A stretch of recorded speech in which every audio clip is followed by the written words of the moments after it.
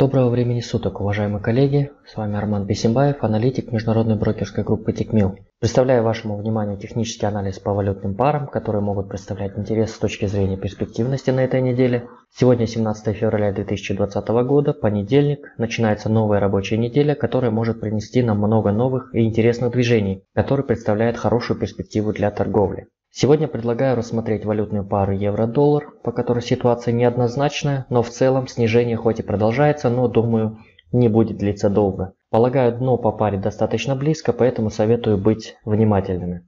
В самое ближайшее время может состояться снижение по паре с японской иеной, которая формирует разворотную фигуру. Потенциал снижения тут составляет порядка 100 пунктов. Также австралийский доллар, который вероятно продолжает восходящее движение, которое пока не закончено. Итак, давайте рассмотрим поподробнее. По евро пока придерживаемся основного прогноза на снижение, но появились подозрения на возможный разворот вверх. Дело в том, что на прошлой сессии пара не стала развивать нисходящее движение, остановившись на уровне 1.0830 и даже попыталась от нее отскочить в своем росте, почти дойдя до сопротивления на 1.0865. Но продавцы атаку эту отбили и вернули цену обратно к уровню 1.0830.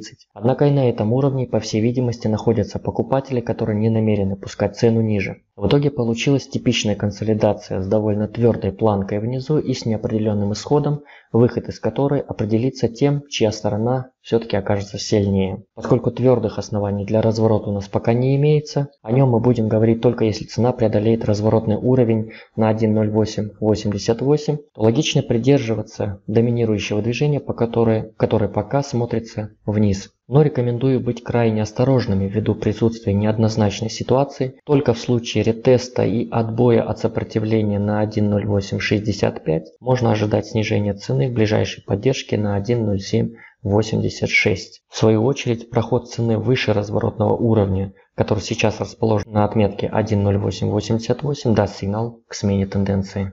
Очень интересная ситуация в японской иене, которая находится практически на грани. На текущем таймфрейме, похоже, формирует разворотную фигуру голова и плечи, которая заканчивает свое формирование. Это предпосылка к скорому нисходящему движению, первый импульс которого может пройти уже на текущей торговой сессии. Глобально пара находится в широком диапазоне между 110.10 и 109.60. Косвенно можно утверждать, что шансов на снижение пары все-таки больше, чем на рост. Однако и вероятность роста полностью я бы не стал исключать. Тем не менее, основной сценарий оставляю приоритетным на снижение, как минимум в рамках локальной коррекции. Определяющим моментом здесь выступает уровень 109.93, который выступает сопротивлением, невозможность прохода цены выше которого окончательно подтвердит фигуру голова и плечи и отправит цену к целевой отметке на 108.93. В свою очередь, проход цены выше разворотного уровня, который сейчас расположен на отметке